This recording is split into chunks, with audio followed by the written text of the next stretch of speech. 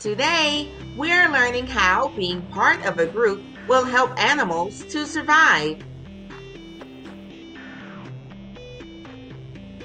This is a group of zebras. A group of zebras is called a herd. Zebras live in a herd for protection.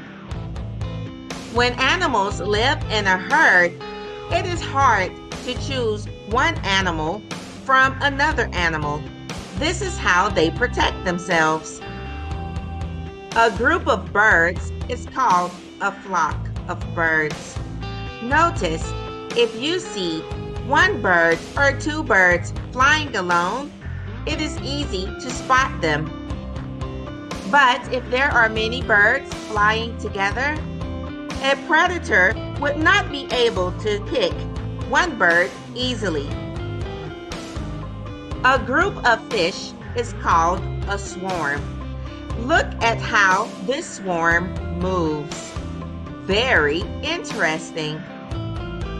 If I wanted to eat some fish, I would find it difficult to choose the fish from this swarm. This is how the fish protect themselves. A group of bees is called a swarm. Can you imagine trying to get honey from this swarm of bees? It can be very dangerous. The bees are together to protect the honey and protect their queen. This is called a pride of lions. A pride of lions are a group. The lions work together in a group to find food.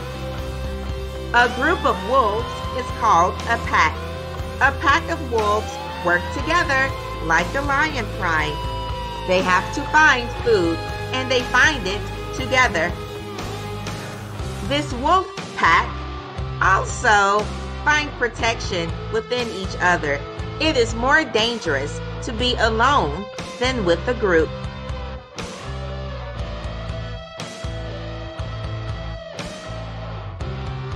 Living in a group can be helpful for many animals. Groups can be different sizes. Some groups can be big, and other groups can be small. Although groups can be different sizes, the purpose of the groups is usually the same.